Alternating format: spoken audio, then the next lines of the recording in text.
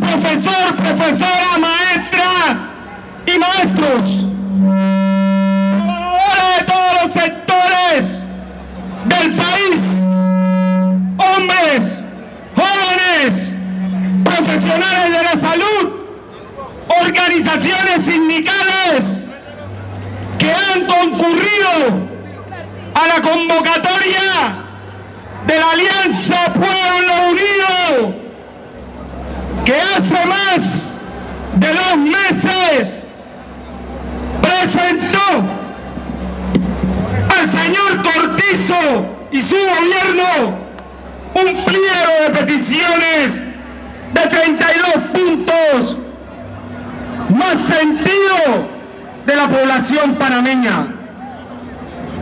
Pero el gobierno del señor Cortizo y el propio señor Cortizo no le interesó que se le llevara ese pliego para que se empezara a discutir con seriedad salidas a la grave crisis que vivimos la mayoría del pueblo panameño. Entre las reivindicaciones más sentidas, disminución de los precios de los alimentos, de los medicamentos, de la electricidad, del combustible, aumento general de salario, la respuesta fue la de siempre para cuando se tratan de las cosas del pueblo. La respuesta fue no se puede. ¿Y qué es lo que nos está pasando a la mayoría de los panameños hoy día? Estamos viviendo una crisis acumulada de aplicación de un modelo político, económico, social, económico, cultural, que nos han impuesto las élites del poder económico a través de los siete presidentes que hemos tenido. Endara, El Toro, Mireya, Martín, Martinelli, Varela y Cortizo. Todos son la misma porquería. Todos nos han gobernado. El PRD, el Cambio Democrático, el Molirena, el Partido Popular, la democracia cristiana, los arnulfistas y ahora los pseudo independientes. ¿Y qué han hecho? Han aumentado todos los precios de los artículos de primera necesidad. ¿Qué más han hecho? Han aumentado la jubilación, han aumentado las cuotas, han aumentado en términos generales los impuestos que paga el pueblo panameño, han aumentado el nivel de desgracia que abarca a la mayoría de los panameños. No hay una política de empleo digno, con salario justo, con seguridad social, con prestaciones laborales. No hay agua potable para toda la población. No hay en el Seguro Social y en el MISA la atención que requiere el los medicamentos, los instrumentos médico-quirúrgicos para cuando enferman la población panameña. ¡Abajo el gobierno corrupto! ¡Abajo el gobierno que no atiende las necesidades del pueblo! ¡Abajo! En los centros escolares, donde concurren los hijos del obrero y del pueblo y de los educadores y de los trabajadores. Las escuelas, la infraestructura no funcionan. Los materiales didácticos no están. Es decir, que premeditadamente se ha abandonado la educación pública de nuestro país. ¿Qué han hecho? Que paguemos más impuestos sobre la renta, lo que trabajamos. ¿Qué han hecho? Que pague más impuestos sobre el consumo todos los trabajadores. Toda esa situación para la mayoría del pueblo panameño. Pero además, ¿qué más han hecho? Los recursos naturales, playas, islas, costas, se lo han entregado a los ricos del país. Abajo el gobierno que saca los recursos del Estado. Abajo las empresas estatales, puertos, aeropuertos, telecomunicaciones, electrificación, se lo han entregado al poder económico. ¿Qué más han hecho? En medio de la crisis sanitaria del COVID, enviaron a los trabajadores a su casa sin un real. Pero a los bancos y a los banqueros le dieron mil millones de dólares el gobierno de Cortizo. Ahora, hace dos semanas, acaban de entregar otros mil millones a cinco grupos económicos. Dice para que inviertan en turismo. Otro gran robo de la plata del pueblo. Ahora, ¿qué han hecho los empresarios? Subir el costo de los medicamentos en medio de la pandemia. Subir el costo de la comida en medio de la pandemia. Subir el costo de la electricidad en medio de la pandemia. Los banqueros han empezado a quitarle la casa, los carros, la tarjeta de crédito, el secuestro a la gente que le debe, que perdió su trabajo en medio de la pandemia. Todo eso patrocinado por el gobierno de turno y los otros gobiernos que han antecedido. ¿Qué más han hecho? En la Asamblea de Diputados hacen fiesta con los impuestos del pueblo, con botellas de 500, de 2.500 dólares. Las botellas que existen en el sector público.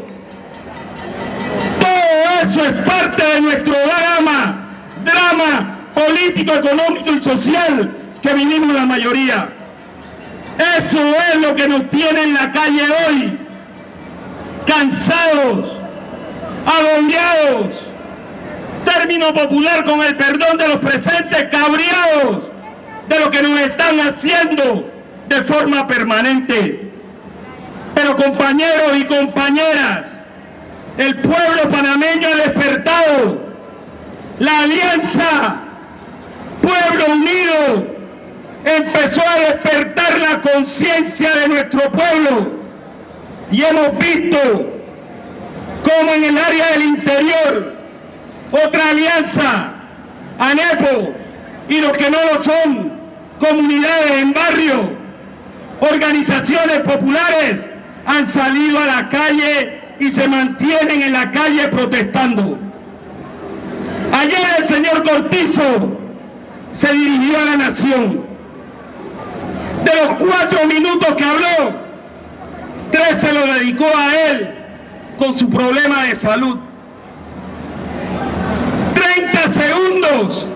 Anunciar una pantomima, una supuesta rebaja del combustible que ya habían anunciado hace unas semanas atrás por la presión popular. Anunciar que iba a extender 10 productos más rebajados o congelados a precios actuales. ¿Y cuáles eran los 10 productos? Salchicha, mortadela, tuna, codito, sardina, fósforo, ¿Acaso el señor Cortizo no sabe que nuestro pueblo come carne, gallina, pescado, arroz?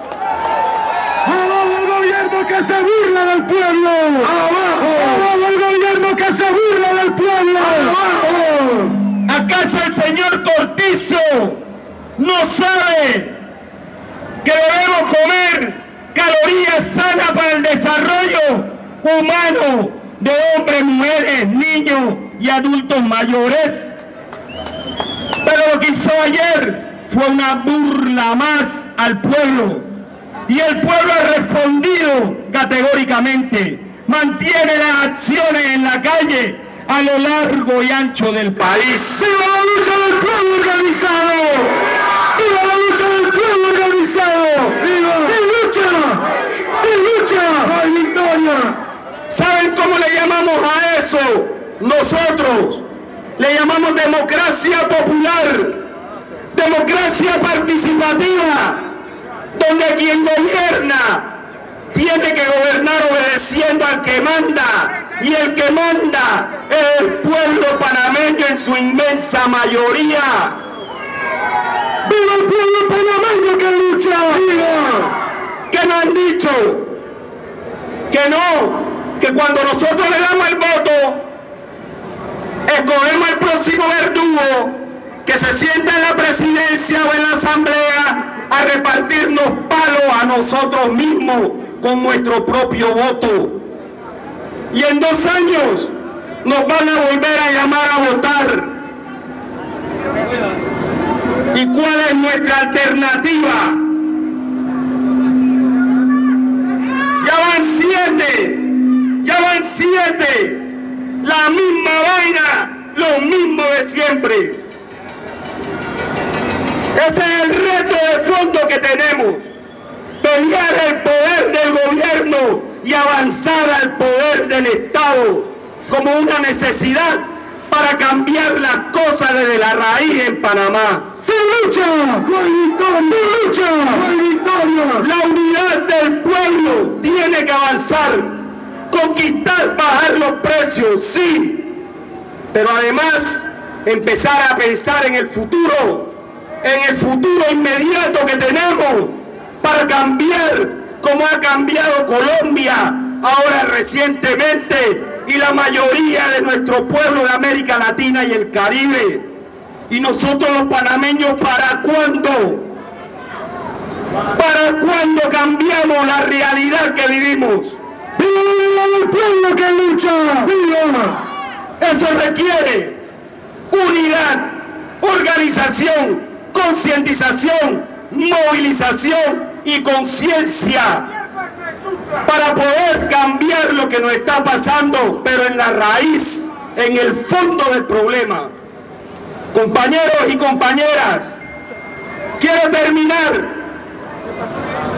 Hablamos de unidad y hemos lanzado públicamente que es necesario una sola mesa del diálogo. Hemos entendido el brazo de hermano y de pueblo a la alianza NEPO para que cerremos en unidad la mesa y exijamos los cambios. Porque un pueblo unido jamás será un pueblo unido jamás será vencido. Unidad, unidad. Volvemos a extender esa mano vigorosa del pueblo, de la unidad, de la lucha, del sacrificio, del amor, de la necesidad concreta que tenemos para cambiar la realidad. Finalmente, los obreros de la construcción, a través de nuestra organización sindical, hemos declarado una huelga mañana de 24 horas. Sin lucha, sin lucha, no hay victoria. La pelea es peleando. Un obrero unido jamás será vencido. Un sucre unido jamás será vencido. Esa huelga la vamos a garantizar, no en la casa, acostado, en las calles, compañeros, en las calles movilizándonos, cerrando como hicimos, caminando, volanteando, uniéndonos aquí con los educadores mañana nuevamente. ¡Viva la lucha del pueblo organizado! ¡Viva! ¡Viva la lucha de los obreros organizados! ¡Viva! Porque un sitio unido jamás será vencido. Un pueblo unido jamás será vencido. La alianza que hoy tenemos, diversa, tenemos que cuidarla como la niña de nuestros ojos. Tenemos que quererla como la necesidad única que cambia la historia. Y ese es el reto de la dirigencia fundamentalmente y de nosotros la base para cambiar la historia, compañeros y compañeras. Muchas gracias.